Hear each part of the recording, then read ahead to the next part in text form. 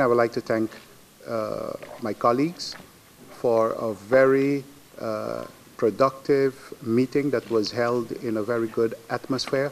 I hope that this is an indication of how we will continue because the topics, uh, all of the topics that were discussed this afternoon or this morning um, are topics that we need to be able to work together in order to achieve to provide our citizens with um, the security that they need.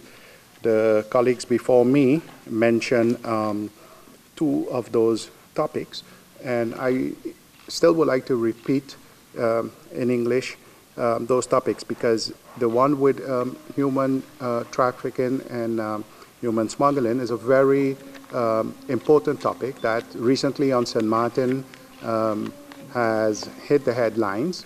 And as was mentioned by uh, my colleague, uh, Minister Dowers, uh, St. Martin managed to achieve uh, tier um, one status in the TIP report of which we are very proud. And as such, I would like to thank and, and, and congratulate also the law enforcement um, agencies on St. Martin, the police, the prosecutor's office, and all who work along in order for us to, to achieve this.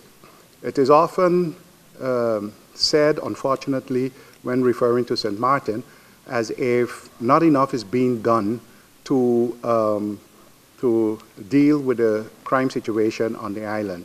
And I would like to assure everyone that um, that is not the case, and that definitely will not be the case if it was so um, in the continuation. We take it very seriously. I take it very seriously.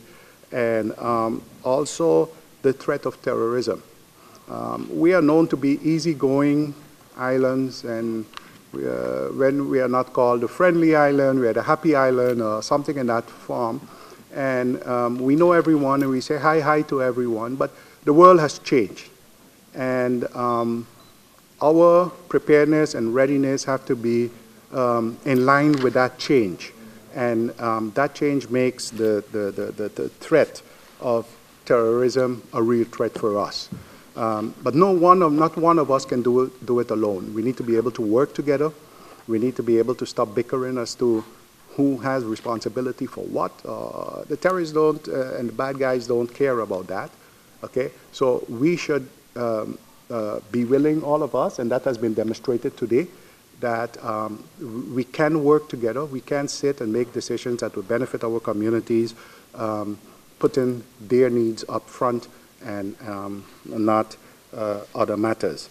Um, again, I would like by uh, ending by congratulating um, uh, the law enforcement. I have indicated to them that um, the, the, the situation, the, the cross-border uh, uh, criminal activities, also our prison situation on St. Martin has my highest priority and um, I've already touched base with some of the colleagues, and hopefully together that we will be able to do something about that situation.